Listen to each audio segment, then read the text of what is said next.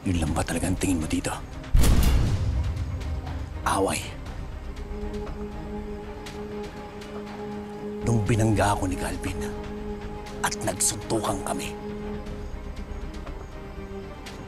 Yun ang away.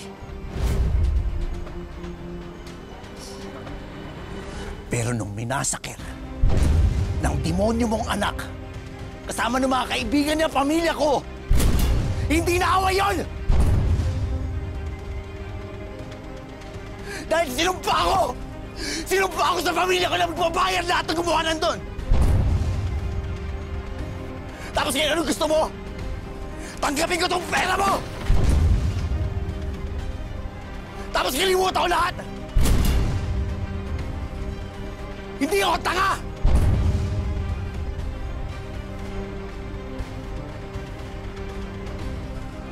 Ang gusto ko, magbayad yung demonyo mong anak sa krimen niya ginawa niya! At kahit kailan, kahit kailan, hindi ako tatanggap ni Katiting mula sa'yo! Dahil alam ko kung saan nagmula ang pera na yan. At alam ko kung ilang buhay ang sinira nyo para yumaman ka!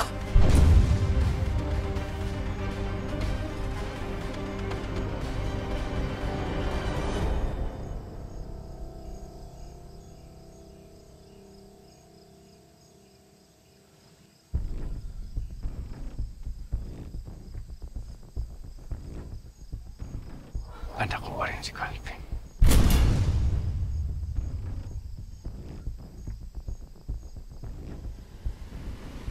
At hindi ako makapapayag na may mangyaring masama sa kanya.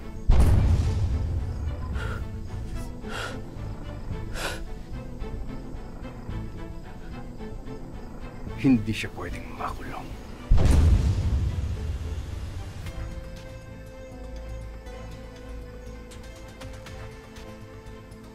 Lalong hindi siya maaaring mamatay.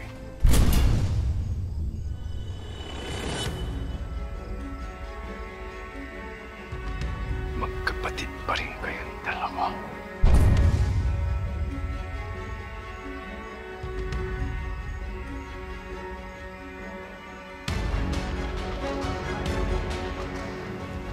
Kung gano'n na.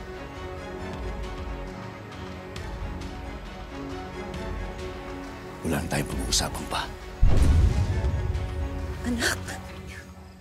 Anak, alam kong mali pero huwag mo sanang mamasamain itong sasabihin ko, ha? Di ka pa ba napapagod? Baka dapat pag-isipan natin ito. Siyempre, hindi natin tatanggapin yung pera pero yung magkaroon tayo ng, ng tahimik na buhay at makapagsimula uli. Nay, Nay, nangako ko sa puntod ng mag-ina ko. Hindi ko mapapatawad yung mga taong gumawa nito sa kanila. Anak, alam ko, nandun ako. Pero ayoko mapahamak ka.